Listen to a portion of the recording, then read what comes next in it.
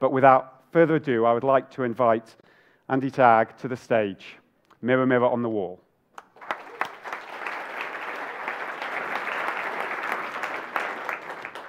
It can be really hard to be a consultant. I've been a consultant for four years now, and I have no idea if I'm doing a good job. So, as a part of an experiment with the Australasian College for Emergency Medicine, I've been involved in some multi source feedback.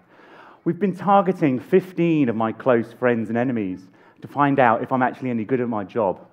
I've spoken to nurses, physios, doctors, radiographers, and they've all been very generous to give their time to tell me what they think of me. And I didn't really want to know about the medicine because I get that feedback on a regular basis on the shop floor. I wanted to get to know what I'm like as a person. So, in means of transparency, I'm going to tell you exactly what they think of me. They're just the bad bits. There are three key things. Number one, I need to drink less coffee at work. Apparently, it's a problem if you drink six or seven cups of coffee on a shift. I don't think so. Fortunately for me, I've now been in England for two weeks. I've gone cold turkey from coffee. it is the stuff I've seen is brown caffeinated water, clearly not coffee. So great, a success. I scored one point. Second thing, I need to say no to things. And clearly, me being on stage suggests that that is impossible. From conversations I've had with many of you over the last few days, I've already got two book offers, three papers to write, and another couple of conferences to speak at. And I'm sure I'll still never be able to say no to anyone who asks me. And then there's the final piece of feedback, the most interesting one. Apparently, I need to be less passionate about work. I need to be less happy in my workplace because it makes everyone else jealous. so I think that really says something more about the person who says this than about to me. But it's really interesting. It got me thinking. And so, human beings have used nonverbal communication since before the time of language, 100,000 years ago. Charles Darwin, in his amazing threequel to Origin of the Species, felt that the emotions that we display on our face are reflected and felt most strongly by those we have in our heads. When you see someone smile at work, the mirror neurons in your brain light up. So when you see the, the zygomaticus major just suddenly make that little turn up, the same parts of your brain that are controlling their brain make you want to smile. That's not a bad thing, is it? And what's more fascinating is that there's also a physiological and emotional response.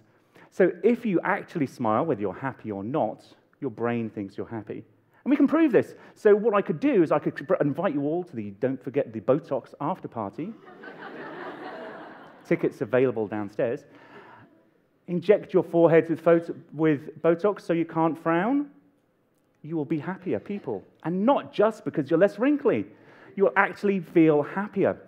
Now, there is a problem with this. There's a huge degree of what we call emotional contagion. So, if I smile at you, you will smile back. And I can see that. The problem is there's a negativity bias at play. So, negative emotional states, fear, anger, hatred, boredom are much more rapidly transmitted than the positive ones kindness, compassion, caring, and calm. And this can cause huge problems in the workplace. So, what we do is got a huge amount of emotional labor.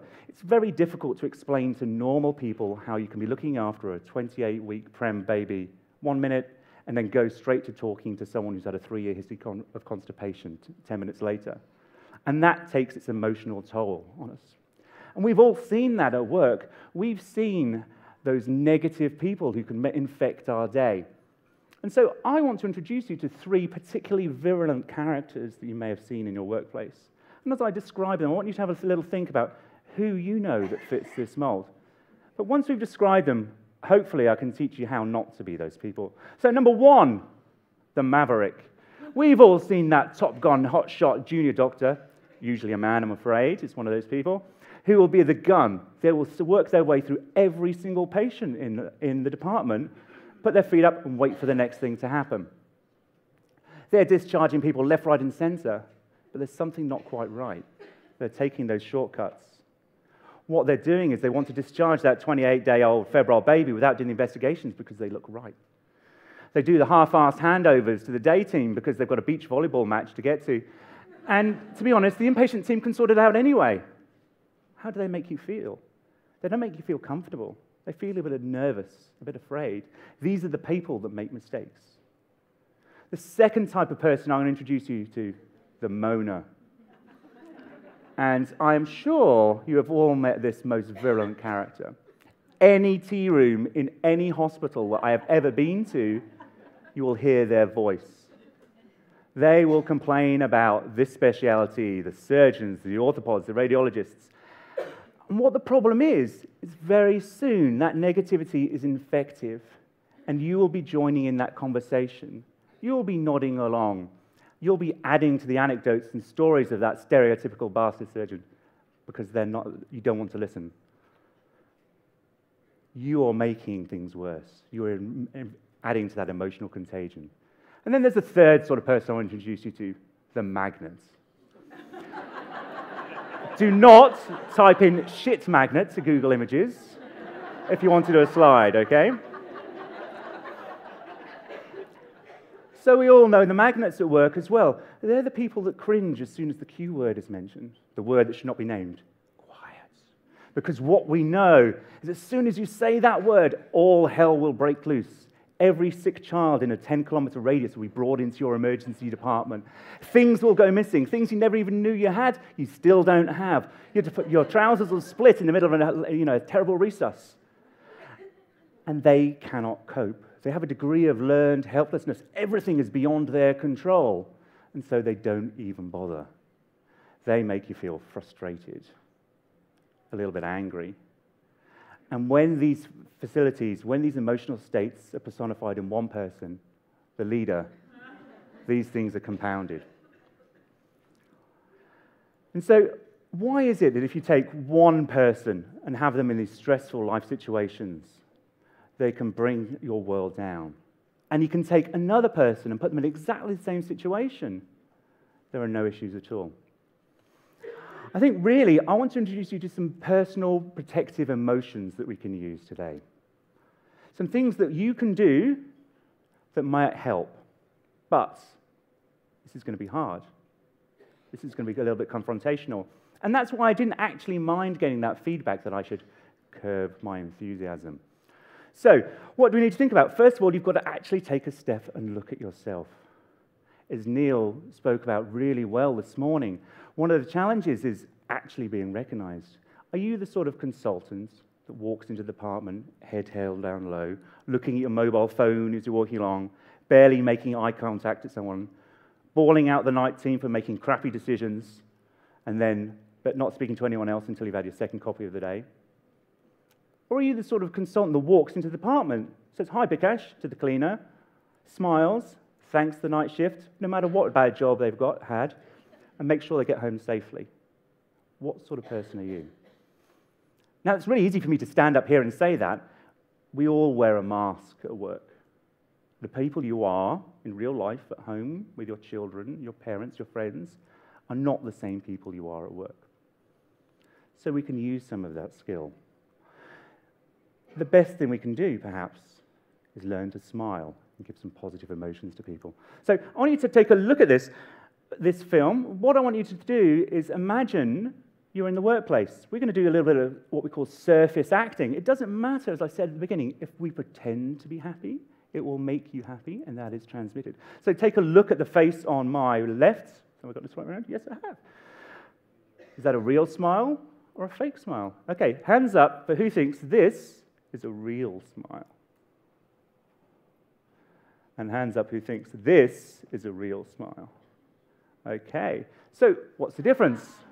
Okay, this is a real smile. It's what is called a Duchenne smile, named after that Duchenne. What he actually did is he's got electrodes, went up to some random strangers that he'd pulled off the streets and gave them a little silver florin, and then stuck them in their face to make them smile.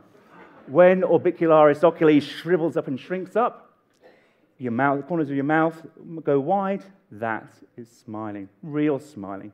So let's do an exercise. Can we have the lights up a moment, please? What I want you to do is turn and look at the person next to you. You can be on your own. If you're on your own, why don't you just get your iPhone out and have a look? You know, it's the same sort of thing. So I want you to try a little smile. You know, and this is what you need to be looking like. So I did do a Twitter. Po-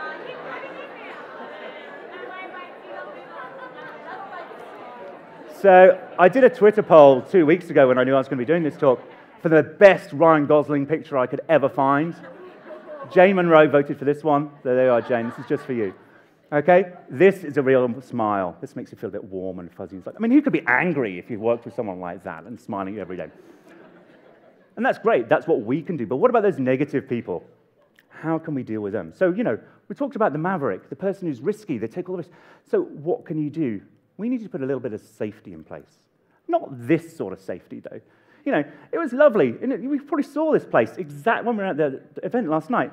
But this is the moment where Tom Cruise breaks his ankle. You know, he's 55 years old. He should not be doing this. These are risks he should not be taking. If you see that maverick about to make a bad decision, it's the time to go and rescue them, to put that safety harness on them. It's not the point just to let go and this is someone else's problem. We have guidelines for a reason. We have guidelines to be safe. And you don't have to believe the guidelines, but if you don't, you need to have a damn good reason for not following them. We want to go up to that maverick, speak to them quietly, give them the opportunity to save face, let them know what they're doing wrong, and maybe we can make a little bit of a difference. So, what about Moaning Myrtle? We all know about her. I think the first thing you can do is not join in that conversation. Every day at work, I'm confronted with eight boarding patients waiting to go to the ward for nine hours. A scratched copy of Let It Go playing repeatedly in the background because it's the only disc that no one wants to steal. Parents are frustrated. Everyone is frustrated. You find yourself writing down the lyrics by accident when you're typing notes in because that's all you're hearing. So, what could we do different? Well, perhaps a computer on wheels, a shared Netflix password, and those dulcet tones of Idina Menzel would be out of your ears. And they can watch Moana or something much better instead. Making the parents a cup of coffee, even if it is English coffee, and as long as it is the doctor that is making it, will make a much better difference to their day. Your happiness will be contagious. Your kindness will be contagious and you will turn their moans into smiles, and you will get thank you letters for it. But then, what do you do about the magnet?